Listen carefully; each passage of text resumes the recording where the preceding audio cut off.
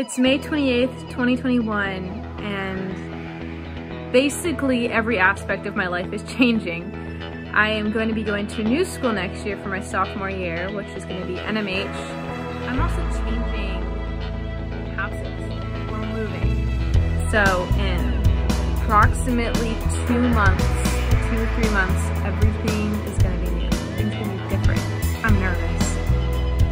I am so scared for what's gonna happen. Like nothing, nothing bad's gonna happen.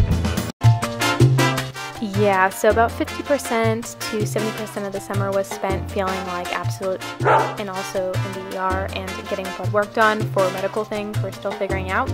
But um, good news is I'm not dying, and the other 40 to 50% of the summer wasn't too shabby, so I would prefer we revisit those days.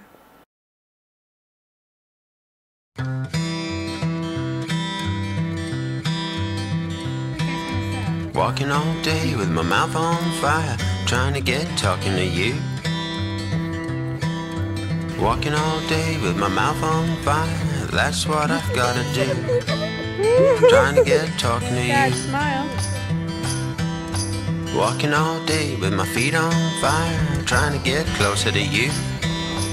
Walking all day with my feet on fire, that's what I've gotta do. Trying to get closer to you. My mind on fire, I can't stop thinking of you.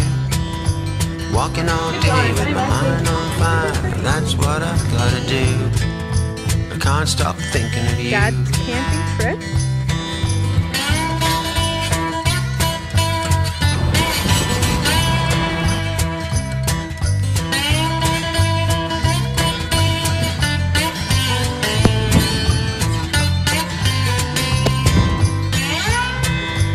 Walking all day with my hands on fire, I wanna get to touch you.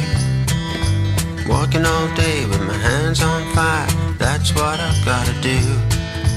Wanna get to touch you.